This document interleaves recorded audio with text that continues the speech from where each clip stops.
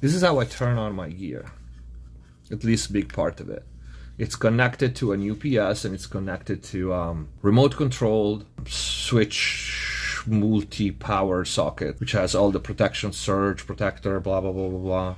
And with that, I don't have to go behind the desk. I don't have to go behind anything. I just click on this and look.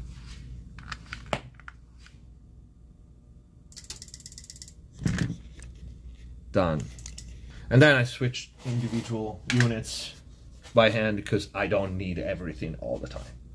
So one, two, our favorite startup here. Bam. And 550 mag Q on the back. 500 series on, mag is on.